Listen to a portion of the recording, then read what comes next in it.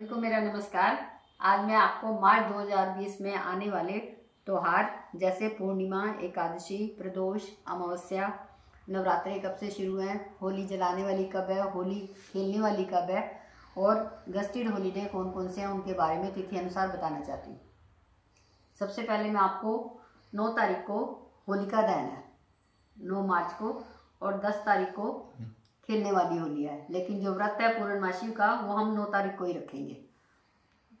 उसके बाद एकादशी है छः तारीख की और उन्नीस तारीख की। छः को आमल की एकादशी है और उन्नीस को पाप मोचनी एकादशी है। प्रदोष है, सात को, सात का और इक्कीस का।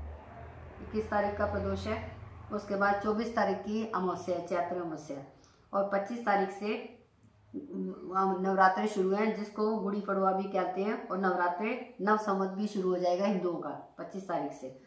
इसके बाद ये सारे नवरात्रे चलेंगे मार्च महीने में। अगला जो होगी अष्टमी, वो उसमें अप्रैल में आएगी। और गस्टी डोली होगा हमारा, केवल दस तारीख को। मंगलवार को होली का, होली की छुट्टी होगी गस्टेड बाकी नहीं है कोई और। मार्च में 25 तारीख से नवरात्रे शुरू हैं। इसको गुड़ी पड़वा और नव समत भी शुरू हो जाएगा।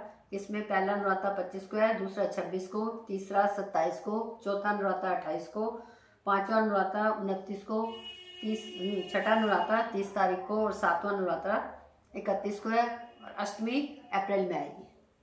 धन्यवाद।